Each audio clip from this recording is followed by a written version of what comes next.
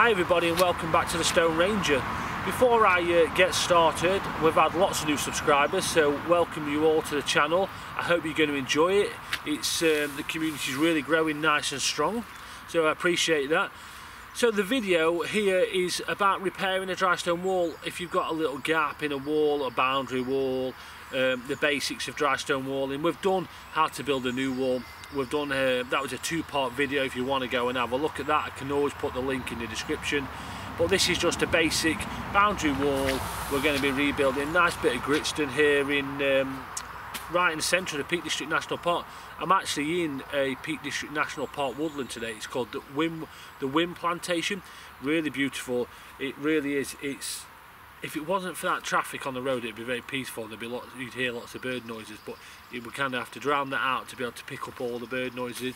And I've been informed this morning by one of the local rangers that um, there's some pied flycatchers. I'm just looking, I think the box is just over what they're nesting in, just on those trees over here. So you never know, we might get lucky and catch a glimpse of them. And the woodland's also full of loads of bits of stonework. So I'm actually sat on here, um, an old millstone which is possibly about three meters in diameter, really big piece of stone. I will stick some pictures as I normally do in the top corners of the screen as I'm going around for you to see or anything I think you need to see more detail. But the woodland really is beautiful, a real mix of uh, mix of trees, really nice. Yeah, so the video is about uh, rebuilding this boundary wall in case you've got a boundary wall you want to repair. Um, very basic, very simple. It is going to be next to the roadside, so possibly um, that can be quite noisy so you'll have to bear with me with that.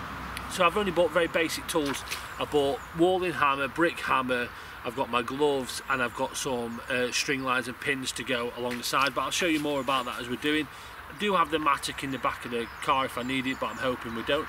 So what I'm going to do now is take the, um, the camera down to the side of the road um, start stripping the wall out. I'm not going to take it too far away from the wall and then once it's all stripped out ready and we're onto the foundations I'll jump back on and show you what we're going to do from there. Right let's get going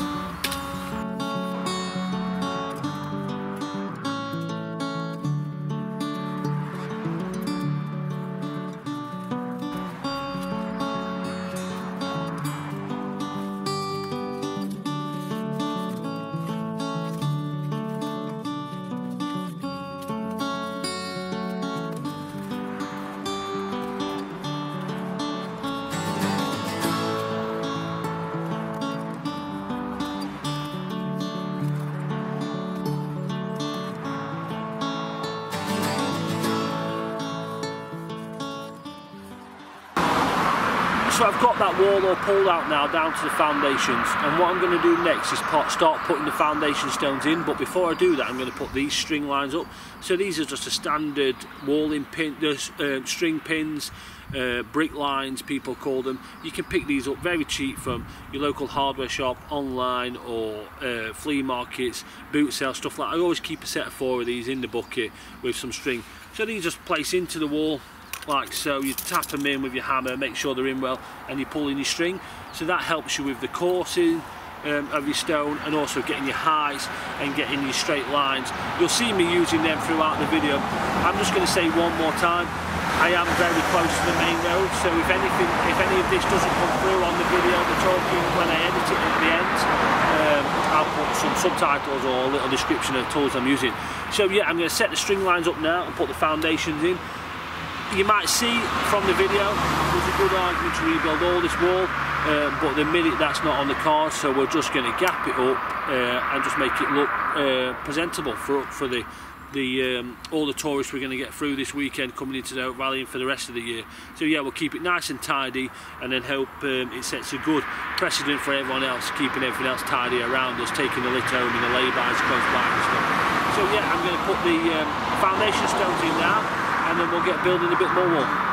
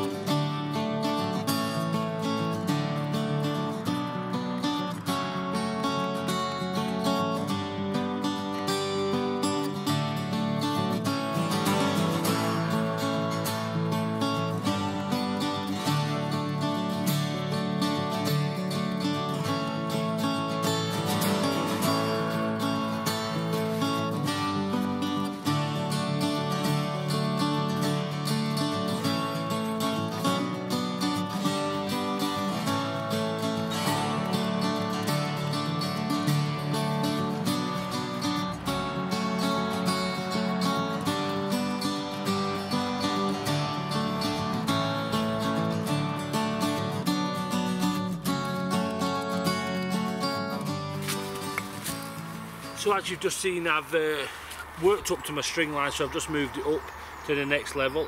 As I've been going up I've been making sure my joints are crossed, plenty of middle in the wall what we call the hearting which we spoke about in previous videos.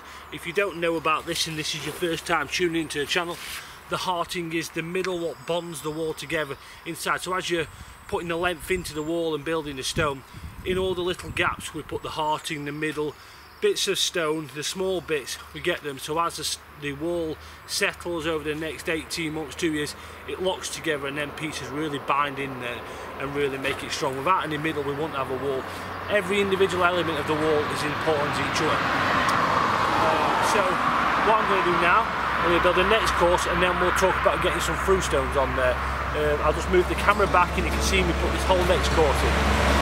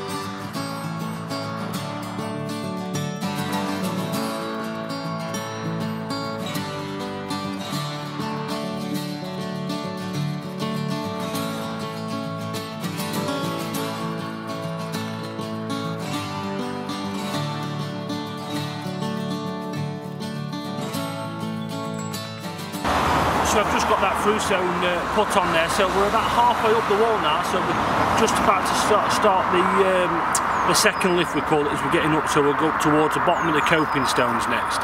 So we're halfway up the wall so that's where I like to put the through stones. But in all honesty wherever they fit uh, the more the merrier. You can't have too many through stones. So I've got one more down here but I'm actually going to come up another course before I put that in because of the the length of it. It's just it's just a little bit too short um, so yeah, but traditionally they go, they go halfway through. So the idea of the through stone is, is it ties one side of the wall to the next. So you're not getting any movement. You might have seen walls, or you might come across a wall in the future if you're just starting out walling, where the centre of the wall is just full of uh, is just hollow and you, you basically got two separate walls and without that middle and that hearting and then through, um, and through stones they're very separate and they'll, they'll fall to bits and there's no middle in there but one other thing is when you're crossing your joints on your two courses, try and overlap them so you're making a makeshift uh, through stone. So each course you do, so if you can get them to overlap your stones on your courses, it's not always uh, doable, but if you can do that in places, that really helps to, to bond the wall together tight in. And again, as it settles over them um, over the next 18 months that'll really tie it in again uh, together to make it stronger make a, a lot better wall I would say is if the, you've got to work with the stone you've got. You do want through stones, but you've got to work the stone you've got. It's not always possible, whether you're working for a farmer or it's private. If you can get some in, ideal. If not, you're going to have to improvise and you're going to have to cross them over more in the courses.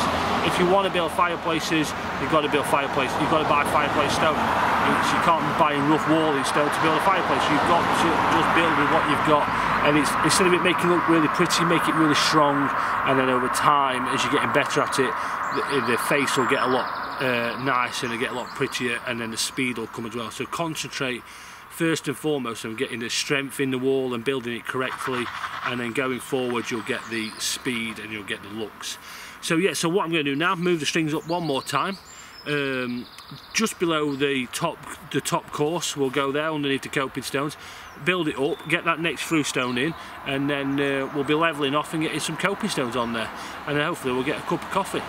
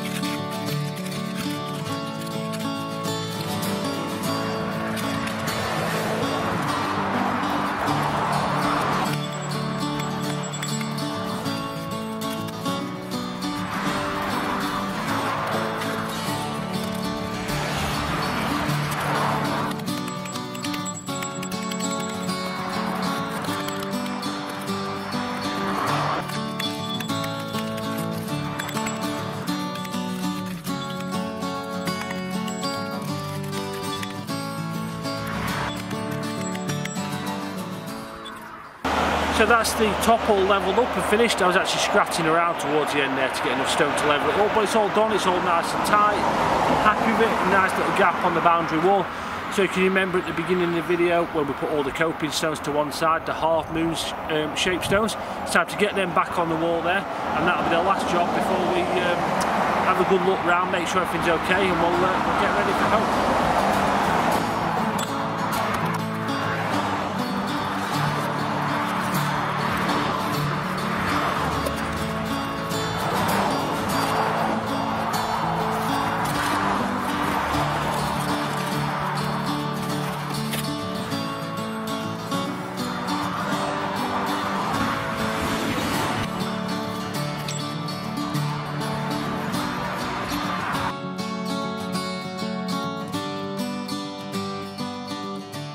So that's it. Nice little gap completed, all done and dusted, all tidied up.